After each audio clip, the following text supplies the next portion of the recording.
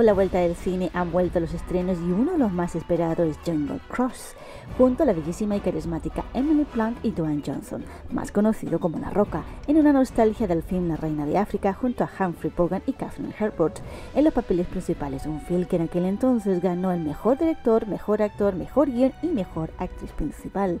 El pasado sábado 24 de julio, en el parque de atracciones de Disneyland Los Ángeles en California, se presentó el gran estreno mundial con una atractiva y pintoresca alfombra roja, quien contó con la participación de los protagonistas de la película como Dwayne Johnson, Emily Blunt, Edgar Ramírez, Jack Whittlehall, Verónica Falcon y el director Jamie Colesterra. Dwayne Johnson, feliz de compartir junto a los fans el estreno mundial, comentó, hacer una película como Jungle Cruise fue una gran oportunidad. Cuando las películas como esta se hacen bien, te atrapan, están sentado en el cine y te dejas llevar y sales del cine flotando, sintiéndote de maravilla. Jungle Cruise está inspirada en una de las atracciones del parque de Disneyland llamada por su mismo nombre Jungle Cruise. En esta ocasión la película nos narra las aventuras de nuestro emocionante viaje por las Amazonas junto al capitán Frank Wolf y la intrépida investigadora la doctora Lily Houston. Allí conoceremos a Lily, quien viajará desde Londres adentrándose en la misma selva de las Amazonas. Para ello contratará los cuestionables servicios de Frank, quien le llevará por el río abajo en la CIA Laquila.